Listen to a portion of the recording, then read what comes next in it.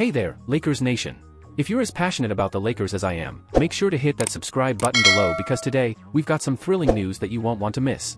Folks, the FIBA World Cup is blazing hot right now, and our former Lakers guard, Jordan Clarkson, just set the court on fire. Picture this, the Philippines hosting the FIBA World Cup, and today, our beloved Lakers alumnus, Jordan Clarkson, led their national team to an incredible victory over China. Yes, you heard that right, a jaw-dropping performance that ended with a triumphant win. Clarkson dropped a staggering 33 points, and that's not even the best part. Hold on to your seats because he netted an astonishing 20 points in less than 4 minutes. Can you believe it? The guy's an absolute scoring machine. Now, here's the burning question, Lakers Nation, should we bring him back to Los Angeles? Imagine the impact he could have on our team, especially in the three-point department. Our Lakers are on the hunt for new talent, and Clarkson could be the game changer we need.